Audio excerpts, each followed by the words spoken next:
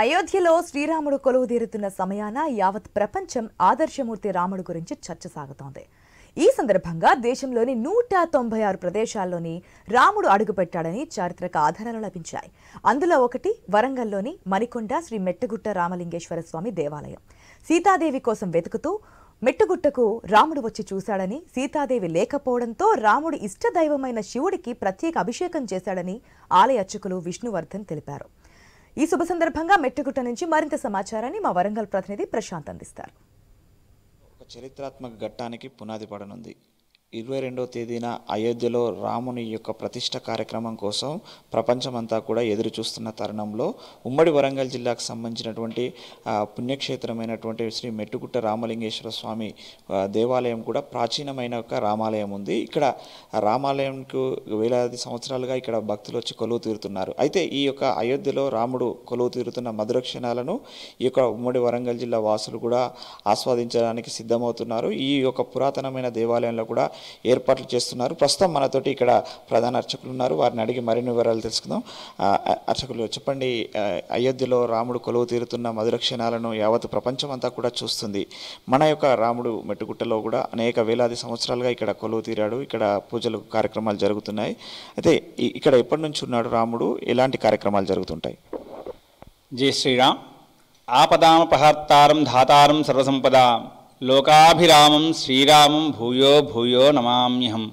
జ్ఞానానందమయం దేవం నిర్మలస్ఫటికాకృతిం ఆధారం సర్వవిద్యానాం హయగ్రీమోపాస్మహే అనగా మన యొక్క ఈ యొక్క దేవాలయము అతి పురాణమైనటువంటి దేవాలయము మెట్టుగుట్ట పుణ్యక్షేత్రము ఇది ఇది హిడింబా నగరంగా ఉండేది. అంటే హిడంబాసురుడు హిడింబి వాళ్ళన్న హిడంబాసురుడు రాక్షస నగరంగా ఉండేది. ఈ నగరానికి సీతమ్మ వారు ఉంటుందేమో అని రాముల వారు ఈ కొండ మీదకి కూడా రావడం జరిగినది. ఇక్కడ సీతమ్మవారు లేకపోవడంతో రాముడు స్వయంగా శివుడికి అభిషేకం చేశాడని రామలింగేశ్వర స్వామి అని చెప్పేసి అని ఈ దేవాలయాన్ని అంటారు.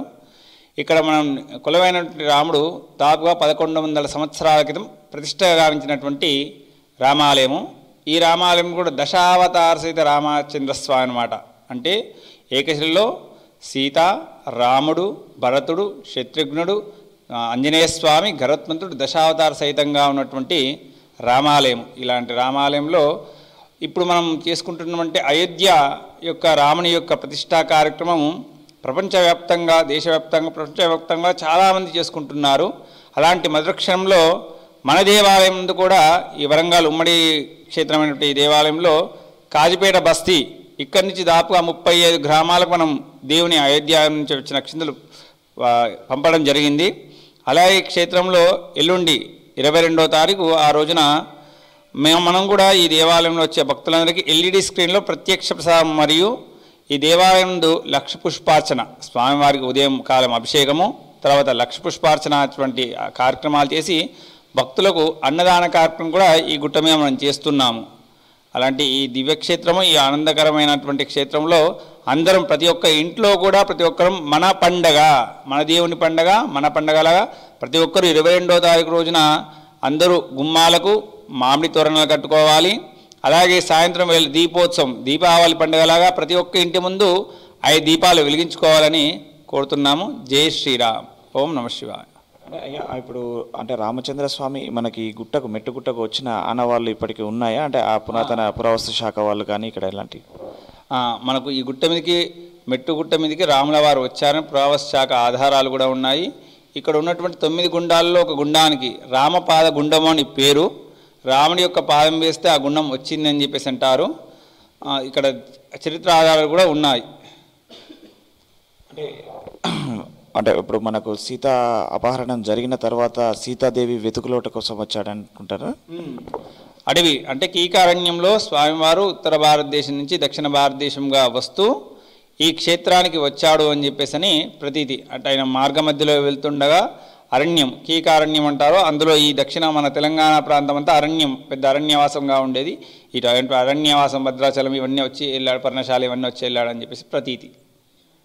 అంటే ఇప్పుడు మనకు పురాణాలలో రామేశ్వరంలో స్వయంగా రాముడే లింగ ప్రతిష్ఠ చేశాడనేది అంటే మన దగ్గర కూడా మెట్టుగుట్టలు అంటే శివునికి స్వయంగా అభిషేకం చేశాడని కూడా పురాణం చెప్తుంది. అది పురాణోక్తంగా మన దగ్గర కూడా స్వయంగా రాముల వారు అంటే సీతమ్మ వారిని వెతికితే ఈ కొండ మీదకి రావడం జరుగుతుంది. ఈ కొండ మీద లేకపోవడంతో రాముడికి ఇష్టమైన దేవుడే అంటే శివుడు అలాగే శివుడికి ఇష్టమైన దేవుడే అంటే ఎవరంటే రాముడు.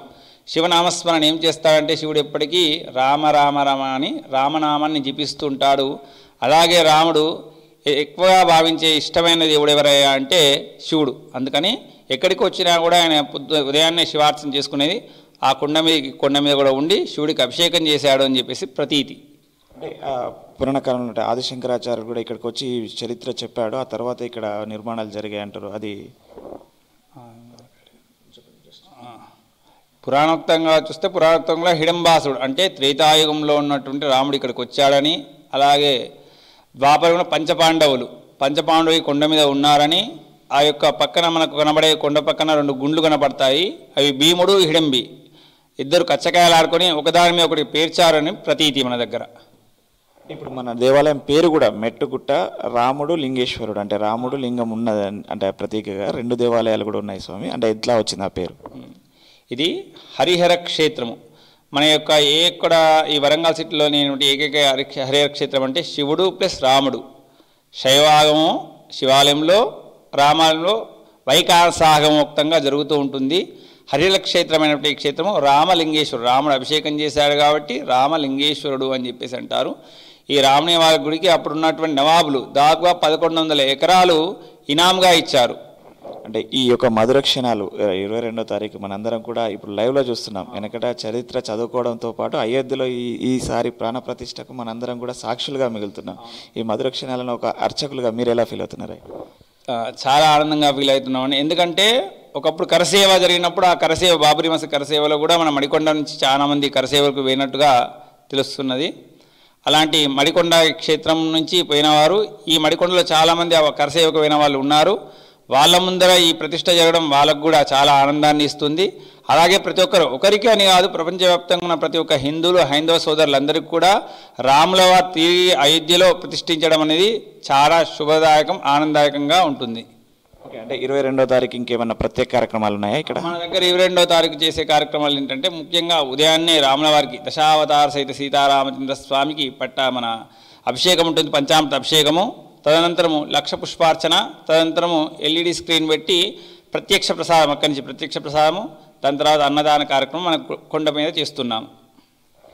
అది మనం చూస్తున్నాము. మొత్తానికైతే అటు అయోధ్యలో రాముడు కొలువు తీరే మధుర క్షణాల కోసము యావత్ ప్రపంచం చూస్తుంది. అలాంటి చరిత్ర ఘట్టకమైనటువంటి ప్రదేశము ఉమ్మడి వరంగల్ జిల్లాకు సంబంధించి కాజుపేట మండలంలోని మడికొండ మెట్టుగుట్ట శ్రీ రామలింగేశ్వర స్వామి దేవాలయంలో కొలువు తీరిన రాముడు ఇక్కడ పదకొండు వందల సంవత్సరాల క్రితము సీతాపహరణ జరిగిన సమయంలో సీతను వెతుకులాడుకుంటూ ఈ అభయారణ్యంలో ఉన్నటువంటి ఈ కొండపై హిడంబి అనే రాక్షస జాతికి ఉండేది. ఇక్కడ ఇలాంటి ప్రదేశంలో ఉండవచ్చు అనే ఒక ఆ, ఇక్కడికి రాముడు వచ్చి స్వయంగా చూస్తాడు. ఇక్కడ సీతమ్మ వారు లేకపోవడంతో తన ఇష్ట దైవమైన శివుణ్ణి పూజించి అనంతరం వెతుకులాడుతూ ఇక్కడ నుంచి పోయాడు అనే ఒక చరిత్ర ఉంది. అది ముఖ్యంగా తెలంగాణలోని ఉమ్మడి వరంగల్ జిల్లాకు సంబంధించినటువంటి మెట్టుగుట్టకు అదేవిధంగా ఖమ్మం జిల్లాలో భద్రాచలము కరీంనగర్ జిల్లాలో ఇల్లంతకుంటకు రాముడు వచ్చిన ఆనవాళ్ళు అయితే ప్రత్యక్షంగా ఇక్కడ లిఖించబడ్డాయి. అది పురా పురావస్తు శాఖ కావచ్చు దేవాదాయ శాఖ వాళ్ళు గత వేలాది సంవత్సరాలుగా ఆనవాయి ఆనవాయితీని కొనసాగిస్తూ ఈ దేవాలయ అభివృద్ధి చేయడమే కాకుండా